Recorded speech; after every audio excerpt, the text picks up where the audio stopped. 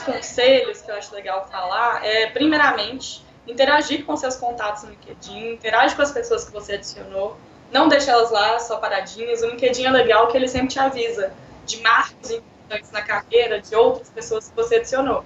Então, às vezes, coloca assim, ah, o Daniel, um exemplo aleatório, Daniel foi promovido, então você pode dar um curtir lá, isso é muito legal para estimular essa interação. Eu, eu recomendo muito que todo mundo interaja com as suas conexões no LinkedIn. Participe de grupos da sua área, isso é muito legal também. Então é muito bom participar, assim, tanto para você ver o que está acontecendo no meu, seu mercado, quanto para você interagir também. E o LinkedIn Pulse eu acho muito, uma dica muito boa, que ele é uma ótima forma de divulgar o seu perfil, divulgar as coisas que você sabe, sua área de expertise também.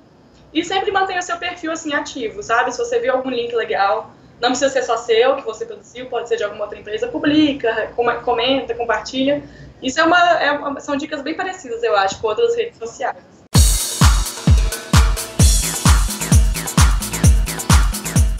O principal é evitar ser muito pessoal, que eu acho que isso é uma coisa para deixar para o Facebook, assim, por exemplo, porque o LinkedIn é uma rede profissional.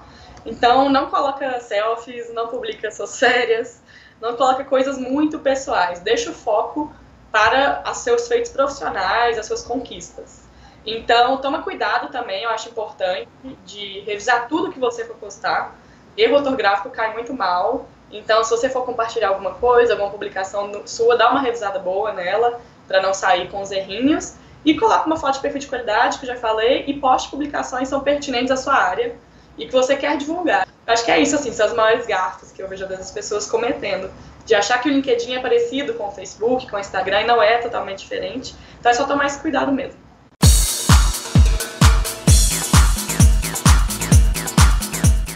O LinkedIn Pulse, que é onde a gente publica a maioria dos textos hoje, ele é muito legal porque cada vez que você publica, todos os seus contatos vão receber uma notificação. Então, se eu publicar hoje, vai aparecer que Lisandra publicou um texto novo no LinkedIn Pulse.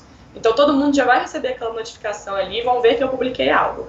Então, com o LinkedIn Pulse, além de ter essa visibilidade, você consegue construir uma autoridade em volta do seu perfil, de que você faz, se colocando como especialista no seu assunto. Então, isso é muito legal, porque muitas pessoas interessantes poderão achar o seu perfil através do LinkedIn Pulse, através desse texto que você está publicando.